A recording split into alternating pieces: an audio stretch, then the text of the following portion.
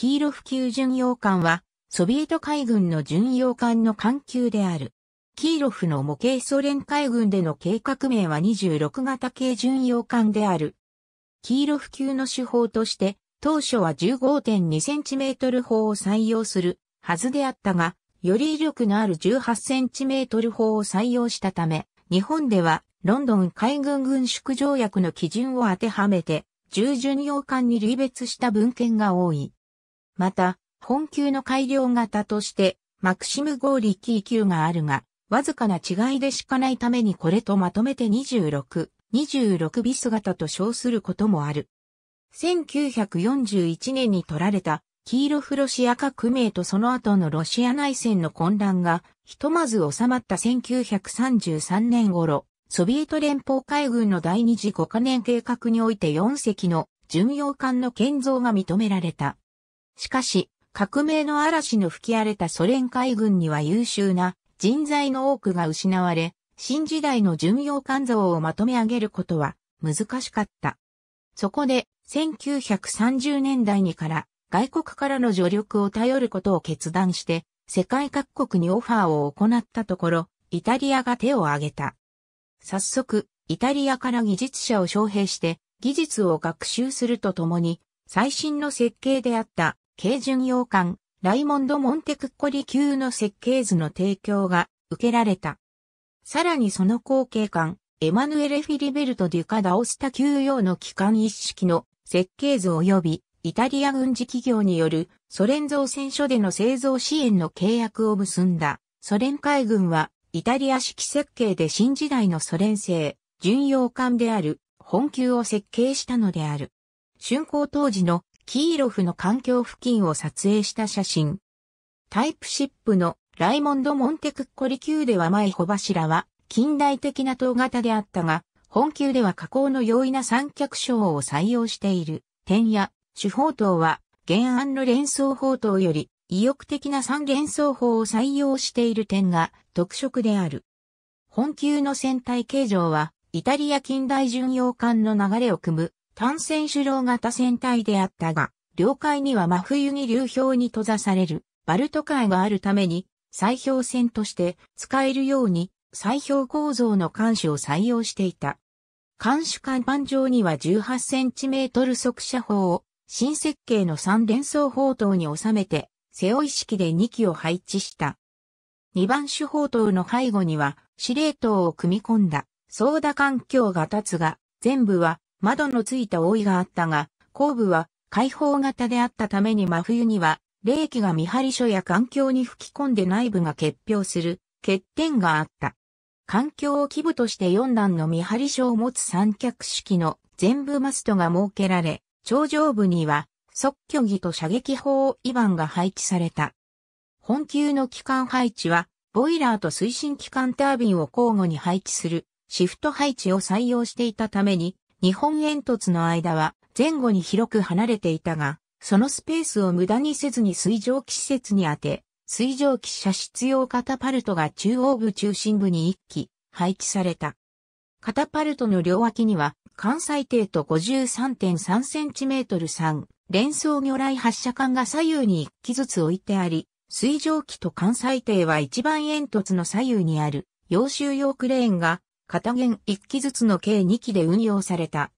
副武装の 10cm 広角砲は、爆風よけのカバーのついた単装砲画で2番煙突の脇に片弦3機ずつ計6機を配置した。2番煙突の背後にシンプルな三脚式の後部マストが配置され、後部甲板上に3番手砲塔が後ろ向きに1機配置された。ボロシーロフの艦首側の 18cm 3連装砲塔。本級の手法後継については当初は国際条約に配慮して元設計と同じく 15.2cm 砲を採用する予定であったが、ソ連はロンドン海軍軍縮条約には調印していないことで、条約にとらわれない自由な後継を選択することにした。さらに、本級の手法として使える 15.2cm 砲で、最も製造年が新しいものでも1906年という改良の余地もない旧式砲しか選択肢がなかった。幸いにしてこの時、クラースヌ以下フカースにおいて採用された1931年型 18cm 砲の運用実績が好評であったので、これの砲画を改良した1932年型 18cm 砲を採用した。この砲を3連装砲塔に収めた。搭載形式は元設計となったライモンド・モンテクッコリ級では連装砲塔4機8門であったが、設計段階で意欲的にも3連装砲塔3機9門に改めた。しかし、元設計が連装砲塔でしかなかったのを3連装砲塔にしたため、細い船体幅に収めるためには、砲画は独立型ではなく3門の砲陣を同一の砲画に装着した。この設計は砲塔を小型にでき、砲画の構造も単純化できたが、本級の手法は3門が同時に行角、不角運動を行い、発射も交互発射が構造上できず静車しかできなくなった。しかも3本の方針の間隔が接近しているため、静車時に砲弾が発する衝撃波が相互に干渉し合って散布界が広くなる問題は元設計より悪化した。手法は重量 97.5kg の砲弾を行角45度で37,800メートルまで届かせることができ、砲塔の不行能力は行角48度、不角4度で、旋回角度は船体守備線方向を0度として、左右180度の旋回角度を持つが、実際は上部構造物により社会に制限があった。発射速度は毎分5.5発である。1941年に取られた、ボロシーロフ。2番煙突の周辺に10センチメートル、単層広角砲が見える、広角砲は、同じく新設計の1934年型10センチメートル広角砲を採用した。この砲は 15.6kg の砲弾を行角45度2万4000メートル、最大行角85度で、高度1万4000メートルまで届けられた。旋回と不行は電動と人力で行われ、左右方向に176度旋回でき、不行は行角85.5度、不角5.5度で、発射速度は毎分16発だった。これを単装砲画で、片弦3機の計6機を搭載した。他に、広角砲を補助するために、1941年型 4.5cm 広角機関砲を採用した。この砲は 3.45kg の砲弾を行角45度9500メートル、最大行角85度で高度6000メートルまで届けられ、発射速度は毎分25から30発であった。旋回と不行は人力で行われ、不行は行角85.5度、不角10度で360度旋回できたが、実際は上部構造物により社会に制限があった。これを単装砲画で6機装備した。さらに手法では、対処できない相手に 53.3cm3 連装水上魚雷発射管を2機装備した。後に1941年に 10cm 広角砲を8機に増加。1942年には 45mm 機関砲を3機に減らす代わりに新設計の1939年型 3.7cm 機関砲を採用した。この砲は 1.8kg の砲弾を行角45度で8000メートル、最大行角85度で高度6000メートルまで届かられた。旋回と不行は人力で行われ、不行は行角85.5度、深角10度で360度旋回できたが、実際は上部構造物により社会に制限があった。発射速度は 4.5cm 機関砲の約3倍になる毎分100発だった。これを単装砲画で5機を設置したが、1943年に 4.5cm 機関砲を全撤去して 3.7cm 機関砲を単装砲画で10機搭載に改められた。艦隊中央に53.3立方センチメートル連装魚雷発射管を両舷に各1機装備したほか、後部甲板に90から100機の機雷を搭載できる機上を2錠装備した。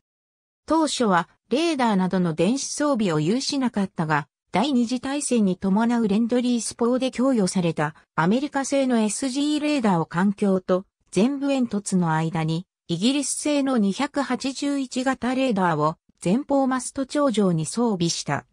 いずれも戦後にソ連国産のレーダーに換装された。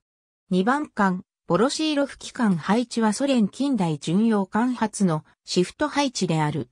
機関配置は環境と一番煙突の直下にボイラー艦3機とタービン機関1機で1組として2組前後に配置して機関の生存性を高めた。機関構成は、ヤーロー式重油戦勝艦6機と、アンサルド式、ギヤードタービン2機に軸を組み合わせ、機関出力113.000馬力、速力36ノットを発揮した。航続性能は、重油燃料タンクの容量1280トンから計算され18ノットで3750回里、航行できるとされた。一番艦キーロフにはイタリアから購入したエマヌエレ・フィリベルト・デュカ・ダオスタ、休憩巡洋艦用の推進プラントをそのまま搭載した。1937年9月の公見では、最大出力11万3500馬力で、速力35.94ノットを発揮したが、計画速力をやや下回る成績であった。2番艦ボロシーロフには、イタリアの技術を応用した国産機関が搭載され、12万2500 HP で36.7ノットと計画性能を凌駕する性能を発揮した。レニングラードの第189造船所で建造。1935年10月22日起工。1936年11月30日に浸水し1938年9月26日に竣工。バルチック艦隊に配属された。第二次世界大戦では、タリンとレニングラードの防衛戦に参加。タリン防衛戦では、爆撃による命中弾一発と資金弾によって、死者9名負傷者30名を出し、レニングラード防衛戦でも爆撃を受けて命中弾7発と、資金弾により死者89名負傷者58名を出した。1945年10月17日、クロンシュタット近海で食来し損傷。1958年4月29日に予備役となり、1960年9月にはレニングラードへと移って練習巡洋艦となる。1968年のセベル演習では機関を務め、1970年にはオケアン演習に参加した。1974年2月22日に除籍され、解体された。ニコラエフの第198造船所で建造。1935年10月15日起工、1937年6月28日に、浸水し1940年6月20日に竣工。国会艦隊に配属された。第二次世界大戦では、国会で様々な作戦に参加したが、コンスタンツァ襲撃の失敗や巡洋艦チェルボナ、ウクライナの喪失により、国会艦隊司令部が英雄の名を持つ巡洋艦の喪失を恐れたことから、ボロシルフはほとんど活動しなくなった。さらに、スターリンの命令により1944年以降は終戦までポチに留まっていた。1959年8月に試験艦に種別変更され、艦名も OS-24 に解消された。OS-24 は主に巡航ミサイルや艦対空ミサイルの試験に用いられるため、主要兵装を撤去してマストは、大型のラティス構造に交換された。1972年10月に宿泊船 PKZ-19 に種別変更され、1973年3月2日に除籍された。ありがとうございます。